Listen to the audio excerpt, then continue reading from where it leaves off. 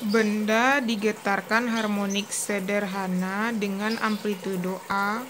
Tentukan perbandingan energi kinetik potensial dan energi kinetik benda saat simpangan seperlima dari amplitudo.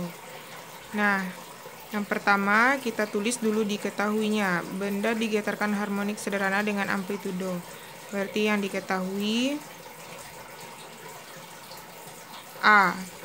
Tentukan perbandingan energi energi potensial dan energi kinetik benda saat simpangan Y sama dengan seperlima dari A. Yang ditanya itu adalah perbandingan EP berbanding EK.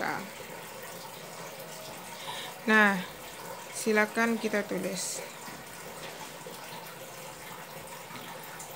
EP banding EK. Rumus EP adalah setengah K A kuadrat. Sedangkan EK adalah setengah K A kuadrat dikurang kuadrat. Nah, ini bisa kita coret A kuadrat sama dengan kita ganti A kuadrat dikurang seperlima.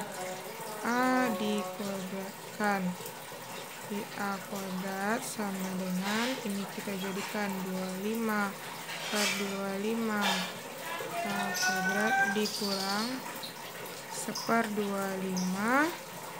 A kuadrat lalu A kuadrat sama dengan 24 per 25 A kuadrat AA habis berarti 25 banding